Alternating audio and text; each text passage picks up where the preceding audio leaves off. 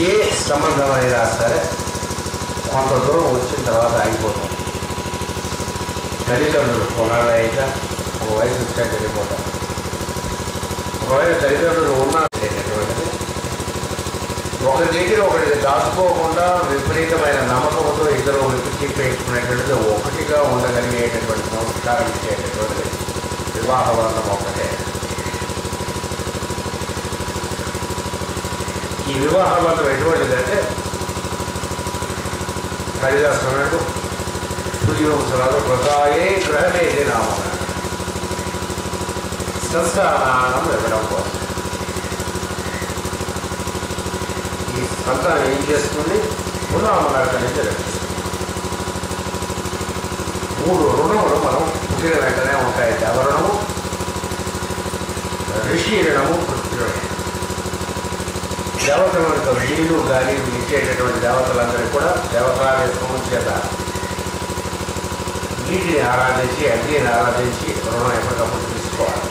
వాయువుని ఆరాధించి వాయువుని ఆరాధించి కొంచెం స్టెరిలైజ్ కొట్టుకోవడం అగరబత్తిగా తీసుకోవడం అది స్వస్వరముగా దాని మీద అగ్నిహోత్రం రాస్తాం నీళ్ళతో క్లీన్ చేసుకోవాలి.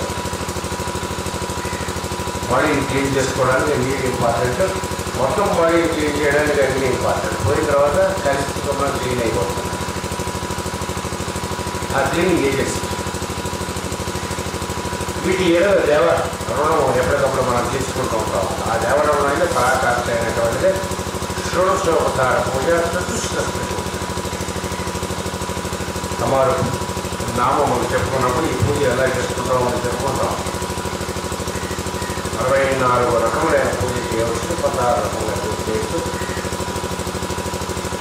ఏ జాతి వాళ్ళైనా ఏదైనా సరే ఈ పూజ చేస్తారు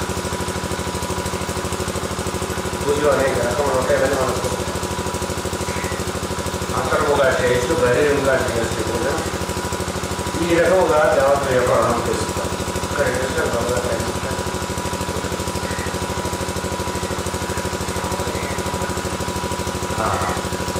మొదలు యొక్క తండ్రి కానీ పెళ్ళి యొక్క తండ్రి కానీ బ్రహ్మగారు కలుసుకుంటే ఏం చేయాలి ఇన్స్ట్రక్షన్స్ చెప్తారు?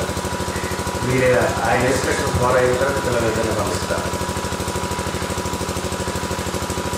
ఇక్కడ బ్రహ్మగారు నిలబడి ఉన్నారు పెళ్ళి కూతురు యొక్క తల్లి తండ్రి పెళ్ళి కొడుకు యొక్క తండ్రి. తండ్రి